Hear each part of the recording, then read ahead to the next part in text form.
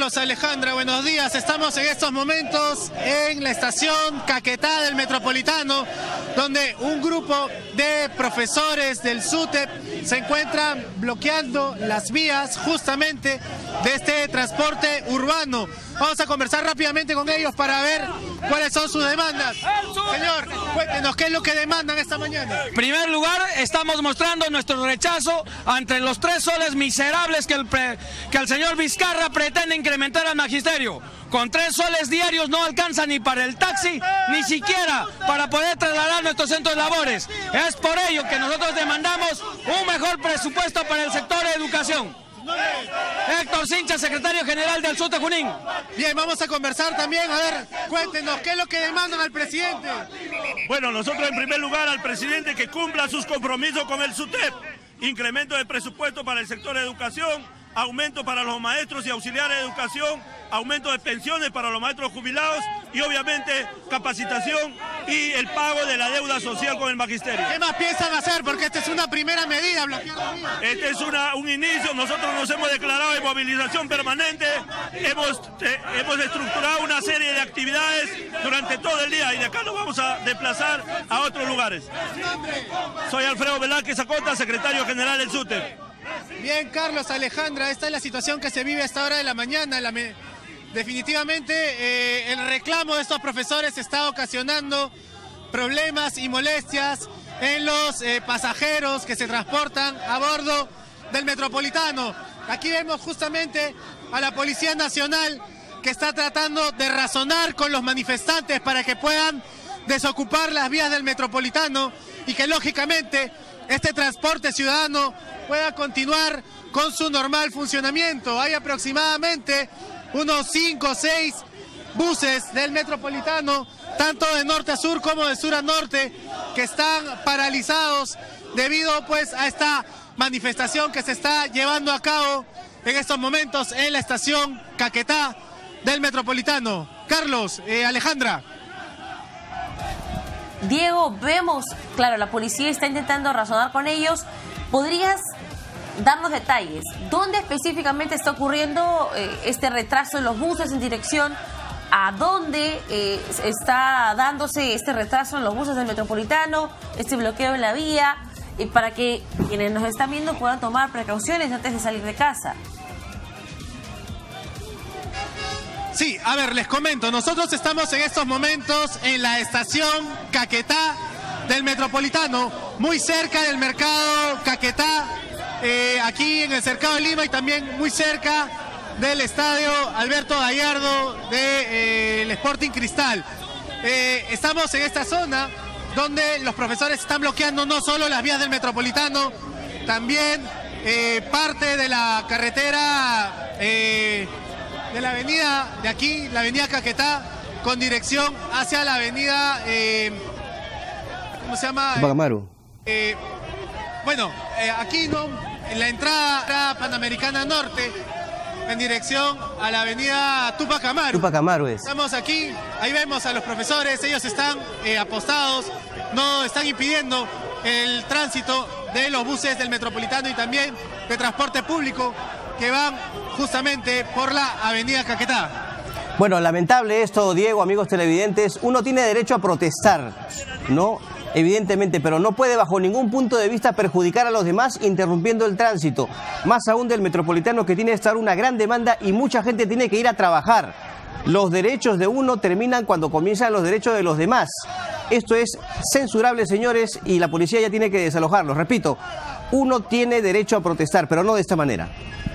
Bien, gracias Diego por esa información. Hay que definitivamente... Mira, mira la cantidad de buses. ¿Cuántos hay ahí? A ver, uno, Por dos, lo menos cuatro a la vista Sí. que no pueden avanzar. cuatro. La verdad es que me da pena las personas que tienen que llegar al trabajo, que tienen Exacto. cosas que hacer y que deben estar esperando poder moverse hace cuánto tiempo. La verdad es que la situación del tránsito en nuestra ciudad está crítica Peor y encima ahora. se le suma, digamos, este tipo de actitudes. Ahí vemos, desesperada la gente que incluso me imagino querrá bajarse para poder ir al trabajo. Bueno, yo no sé qué espera la policía para enviar más efectivos y desalojar a estos señores. Tienen que desalojarlos ya. Lamentablemente esto ocurre. Alejandra. Mira. Sí, sí, adelante. Carlos, Alejandra, volvemos aquí hasta la estación Caquetá. Bueno, ya la policía se ha visto obligada a tomar medidas de fuerza. Ahí vemos que ya han llegado varios agentes de tránsito y también eh, de la Policía Nacional, de la Unidad de los Halcones, tratando de desalojar a los profesores que, como lo habíamos señalado, estaban ocupando parte de la avenida Caquetá. Ahí los vemos, ¿no? Están forcejeando, los están tratando de sacar de la vía pública porque sabemos, estamos en plena hora punta. A esta hora hay una gran concentración de vehículos que tienen que desplazarse hacia distintos puntos de la capital para algunos ir a trabajar, otros ir a estudiar, en fin, para cumplir los ciudadanos con sus actividades y los profesores, lógicamente, al bloquear la vía, pues están generando molestias en el tránsito, en el ya caótico tránsito limeño. Ahí vemos a los policías que están tratando de desalojar a los profesores. Los profesores, al parecer, no quieren entrar en razón. Están tratando de aguantar. La policía no quiere enfrentarse con ellos. Están invitándoles a que se retiren.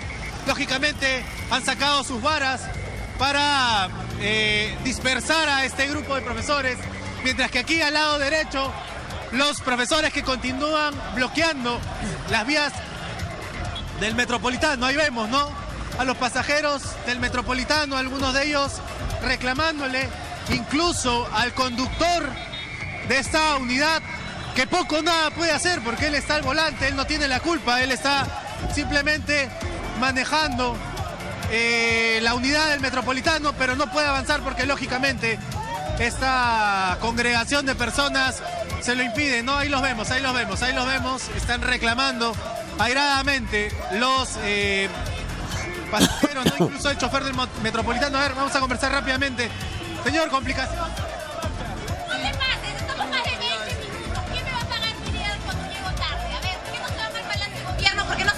Congreso? ¿Qué?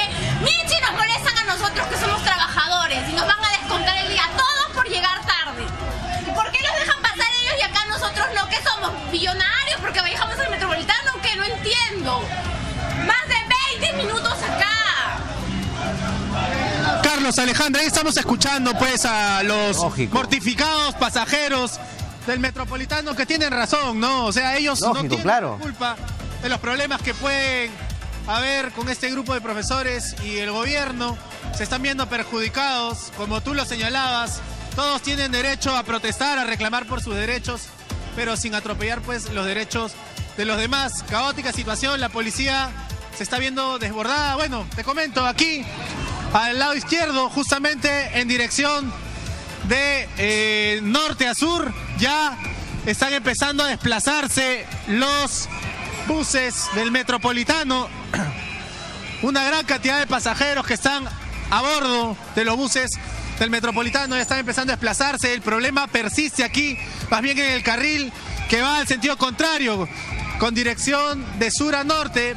Ya los manifestantes están empezando a ser también desplazados, desalojados de los carriles del metropolitano para que las unidades puedan continuar con el tránsito correcto, ¿no? Escuchábamos a una pasajera que nos decía llevan 20 minutos aproximadamente atascados El colmo. por esta protesta que se ha generado aquí en la estación Caquetá del Metropolitano. Carlos, Alejandra. Gracias, Diego. Bueno, por lo menos ya está avanzando el tránsito, hay un poco de congestión, pero mira, la verdad es que es un desorden total. Un Sí. desorden absoluto. Ese yo- tipo de manifestaciones, entendemos que los profesores quieren reclamar. Claro. Por favor, no pueden afectar a los ciudadanos que no tienen nada que ver con este problema y que seguramente hasta están tan indignados como ellos por las políticas de gobierno. Perfecto, lo que quieran, pero no pueden afectar los derechos de otros. Mira, ahí han ingresado al otro carril y vuelven a detener un bus del metropolitano.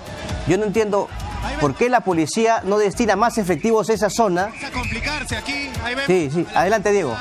que está eh, desalojando ya con un poco más de fuerza a los manifestantes que se niegan a abandonar las eh, vías del metropolitano, mientras que por otro lado los pasajeros, algunos de ellos están optando por eh, caminar, desplazarse a pie por la estación del metropolitano. La policía está haciendo denodados esfuerzos por despejar las vías del metropolitano. Sabemos que este transporte por lo general es muy caótico. Siempre hay una gran cantidad de usuarios abordando este transporte municipal. Y bueno, esta situación el día de hoy ha complicado aún más la ya caótica situación que viven estas personas que usan este transporte público. Bueno, ya vemos, la policía por fin logró despejar las vías del metropolitano. Los profesores siguen por aquí, siguen protestando. Reiteramos, entendemos los motivos de su protesta, pero como ustedes señalaban, eh, no hay justificación para perjudicar a otras personas que como sabemos se están dirigiendo pues en algunos casos a trabajar, otros a estudiar, otros a cumplir con actividades cotidianas. No, y Diego, y esto genera... muy claros, ellos van a continuar con sus protestas, tienen un cronograma de actividades pactado. Sin embargo, la policía está haciendo acá pues los esfuerzos necesarios para que las unidades del metropolitano que se encontraban atrapadas, impedidas de avanzar por esta manifestación, empiecen ya con el desplazamiento correspondiente. Carlos, Alejandra. Gracias, Diego. Yo voy contando 18 unidades atascadas solo en una de las vías. Esto genera un retraso que, claro, son 20 minutos, 30 minutos parados ahí, pero luego en cada estación Se sobrecarga. se va a sobrecargar y va a haber, ese retraso se va a multiplicar. La gente va a llegar seguramente más de una hora, hora y media tarde al trabajo. No, ya llegaron tarde ya y tú sabes que en algunos centros de labor no aceptan excusas y bueno, le descuentan el día. Tiene toda la razón la, la señorita que declaró para Diego Ferrer, estaba muy molesta y, y hoy obvio, pero lo- Uy, Carlos, Alejandra. bomba lacrimógena. Empieza la policía a hacer uso de las armas. Han empezado a disparar perdigones contra el piso para dispersar a los manifestantes porque eh, al parecer no quieren entrar en razón. ¿no? Ahí vemos cómo ya los están obligando prácticamente con disparos de perdigones a apostarse a un lado de la avenida Caquetá para que no impidan el libre tránsito de los vehículos ni tampoco perjudiquen a los centenares de pasajeros, a las centenares de personas que transitan por aquí. Los profesores, ya digamos para evitar mayores enfrentamientos, han tenido que verse obligados a apostarse a un costado de la avenida Caquetá. Aquí esta es parte también de una de las salidas de la avenida Vitamiento. Reiteramos a nuestros televidentes, estamos muy cerca de la avenida Caquetá, de la estación Caquetá del Metropolitano, a tomar las precauciones del caso porque la situación aquí en este lugar es bastante complicada debido a esta manifestación que se está llevando a cabo. Ahí vemos a los profesores ya, todos se han puesto a un lado de la vía. La policía está aquí ya tratando de contenerlos, de que no vuelvan a invadir la vía pública, ni tampoco que impidan el libre tránsito de la policía, ¿no? Afortunadamente, la buena noticia es que las vías del metropolitano ya se restablecieron, el tránsito ya también se ha restablecido aquí. Entonces, la situación va volviendo a la normalidad. Ya llegó también una gran cantidad de agentes policiales para contener a los manifestantes y evitar pues más desmanes como los que acaban de ocurrir hace solo unos instantes. Carlos, Alejandra. Diego, increíble, en verdad, estas imágenes que nos muestras. Mira la fila de buses metropolitano y siguen, seguimos viendo más. Están atacados, sabe Dios hasta dónde. Bueno, ya han sido, digamos, Retirados. retirados de, la- de las vías de tránsito y se ha recuperado el tránsito regular, bueno, el tráfico regular, porque vemos pues que la situación es complicada, ya Claro. definitivamente inmanejable. Bueno, en un sentido esa es la vía que va hacia eh, Tupac Amaru. La avenida Tupac Amaru.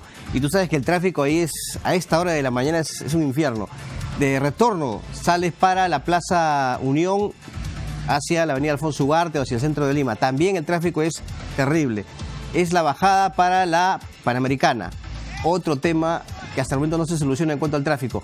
Imagínense ahora ustedes, amigos televidentes, con estos manifestantes deteniendo los vehículos de metropolitano. El La verdad que es un caos. La verdad es que el tráfico en nuestra ciudad es un problema que todos los días genera retrasos, según algunos estudios, de hasta cuatro horas diarias para algunas personas. Bueno, y sabes qué, a mí me parece, ¿no? Y yo siempre destaco la labor de la Policía Nacional, pero me parece que aquí han tardado en, en retirar a estos, a estos señores, porque ya debieron hacerlo inmediatamente. No pueden obstruir una vía, no pueden bloquear el libre tránsito. Entonces, hay que ser más severos en ese sentido. A veces no se puede entrar en razón, Alejandra, ¿cierto? A veces este, no se puede dialogar con estas personas. No, Ya, porque el sáquenlos objetivo era claro. El objetivo de, de estos manifestantes era bloquear la vía. Claro. Así de simple, ¿no? Entonces, no hay diálogo que sostener cuando el objetivo es claro en este caso. creen que así se ejerce una medida de presión, llaman la atención, pero no es la manera y va contra las normas establecidas, va contra la Constitución. No, todos tenemos derecho al libre tránsito.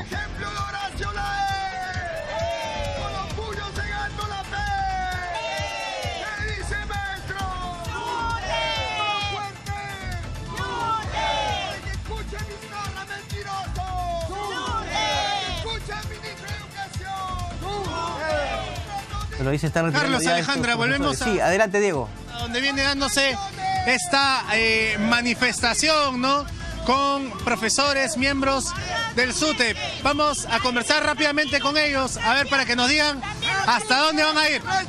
Señor, hasta, miserable! señor, ¿hasta dónde están marchando?